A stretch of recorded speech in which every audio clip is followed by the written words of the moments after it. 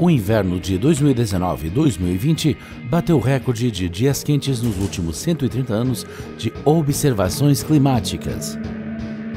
Em muitas regiões do planeta, onde esta época do ano costuma ser associada a esquiar e brincar na neve, em meados de janeiro floresceram as flores da primavera. E isso provavelmente é apenas o começo as temperaturas globais aumentaram de forma constante e o gelo e a neve familiares podem desaparecer mesmo em lugares onde a temperatura raramente sobe acima de zero. Isso significa que geleiras que permaneceram indestrutíveis por milhões de anos podem derreter. Como isso será para nós? O que espera o planeta e a humanidade se as calotas polares finalmente derreterem? Nos últimos 100 anos, as temperaturas médias aumentaram cerca de meio grau Celsius, ou 0,9 Fahrenheit. À primeira vista, isso é muito pequeno. No entanto, isso levou a um aumento no nível do oceano em 15 a 20 centímetros, ou 6 a 8 polegadas. A primeira coisa que derrete se a temperatura permanecer nesse nível são os icebergs flutuando no oceano, mas eles não representam um grande perigo. 90% da massa dos icebergs está submersa e deslocam a quantidade de água correspondente ao seu volume. Mas é uma questão completamente diferente quando as geleiras se desprendem da Terra. Devido ao aquecimento global, as camadas de gelo do Polo Sul e Polo Norte racham regularmente e grandes blocos de gelo caem no oceano. 90% da cobertura de gelo e 80% de todas as reservas de água doce estão na Antártida.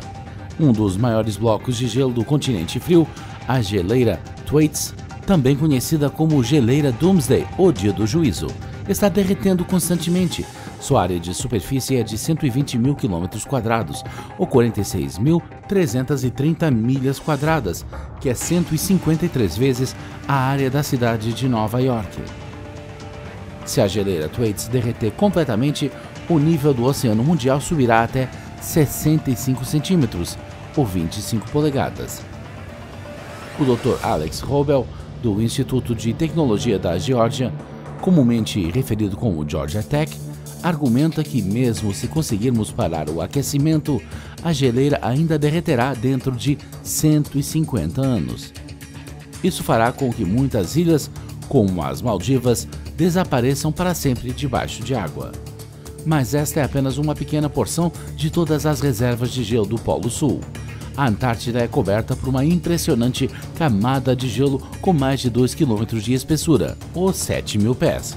A área da concha de gelo é de aproximadamente 14 milhões de quilômetros quadrados, ou 5,4 milhões de milhas quadradas, e o volume é de cerca de 30 milhões de quilômetros cúbicos, ou 7 milhões de milhas cúbicas.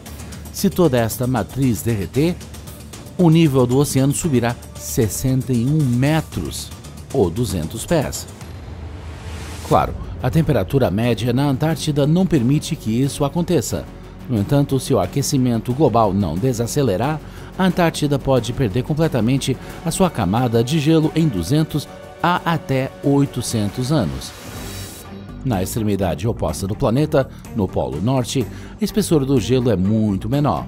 Se derreter, o nível do mar não mudará, mas a Groenlândia poderia dar uma contribuição. Como essa ilha está muito mais próxima do Equador do que as geleiras polares, a probabilidade de seu gelo derreter é muito maior. A Groenlândia é capaz de elevar o nível dos oceanos do mundo em mais 7 metros, ou 23 pés. Quando todo o gelo do planeta derreter, o mapa do mundo mudará além do reconhecimento.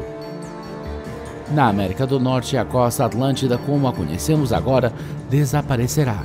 O estado da Flórida não existirá mais. O Golfo da Califórnia expandirá suas águas até San Diego, e as colinas de São Francisco se transformarão em ilhas separadas.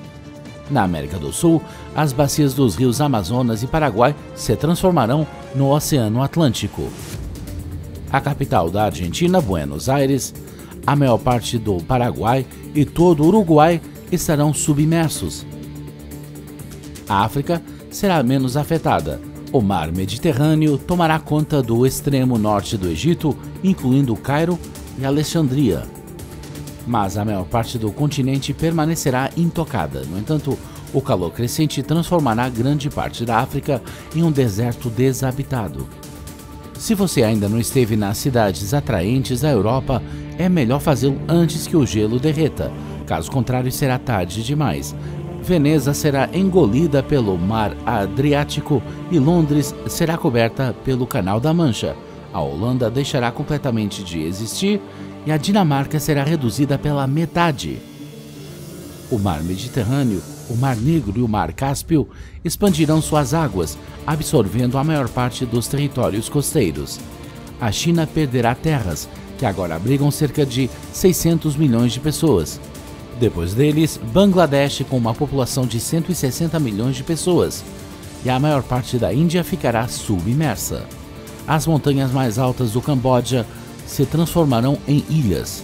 O alto nível do oceano também lavará todas as terras costeiras da Austrália, onde cerca de 80% da população do continente mora. No meio do deserto da Austrália, um mar interior aparecerá. E, no entanto, dificilmente devemos esperar que os polos norte e sul derretam ao mesmo tempo. Apesar do fato de ambos os polos estarem cobertos de gelo, eles são muito diferentes um do outro e também derretem em velocidades diferentes. O Oceano Ártico está quase completamente cercado por terra. Por essa razão, os icebergs que se quebram não podem flutuar em águas mais quentes onde derreteriam. Em vez disso, eles se empilham uns sobre os outros. Devido às camadas, o gelo marinho do Ártico se torna mais espesso do que na Antártida e permanece à tona durante a maior parte do ano. De fato, no verão, metade do Ártico derrete. De 15 milhões de quilômetros quadrados, ou 6 milhões de milhas quadradas de gelo no inverno, no início do outono restam cerca de 7 milhões de quilômetros quadrados, ou 2,7 milhões de milhas quadradas. A menor quantidade de gelo foi registrada em 2012, quando restavam apenas 3,39 milhões de quilômetros quadrados, 1,3 milhões de milhas quadradas. Na Antártida, o oposto também é verdadeiro. Ao contrário do Ártico, é uma terra coberta de gelo e cercada por todos os lados pelo oceano. Portanto, a Antártida patrocina intensamente os oceanos do mundo com recursos hídricos. Grandes geleiras se desprendem e, graças às correntes e ventos fortes, vão muito além das regiões polares. Algumas delas chegam às costas da Austrália, América do Sul e África. Quase todo o gelo marinho da Antártida desaparece no verão. À medida que o gelo marinho continuar a derreter, o Polo Norte ficará sem gelo mais cedo do que o Polo Sul.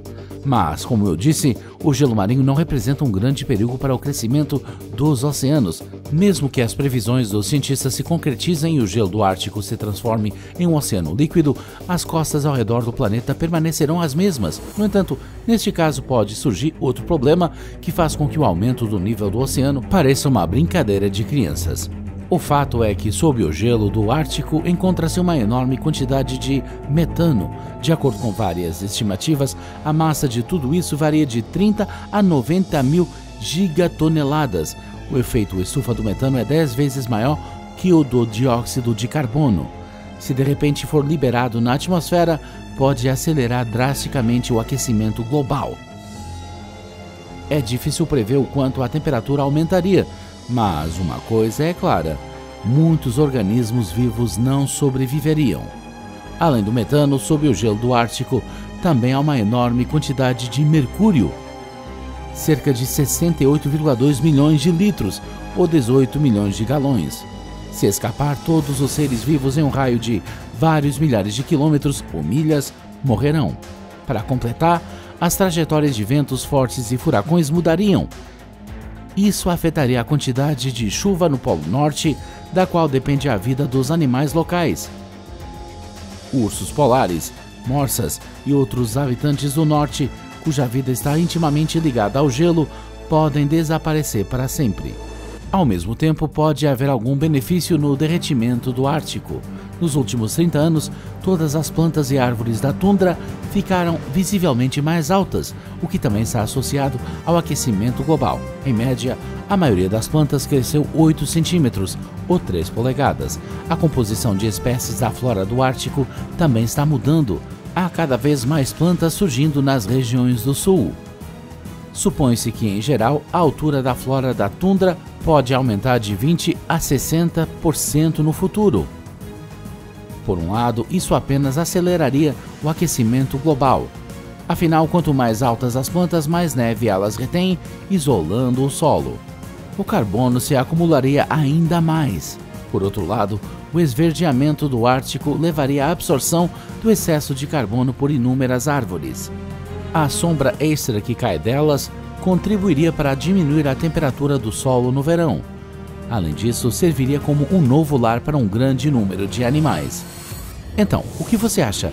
O derretimento do gelo no Polo Norte terminará em uma catástrofe global ou no surgimento de florestas gigantes? Deixe-nos saber nos comentários. Se você gostou do vídeo, dê uma curtida. Não se esqueça de se inscrever no canal se ainda não o fez e clique no sininho a tempo de receber notificações de novos vídeos interessantes que esperam por você no futuro. Até a próxima!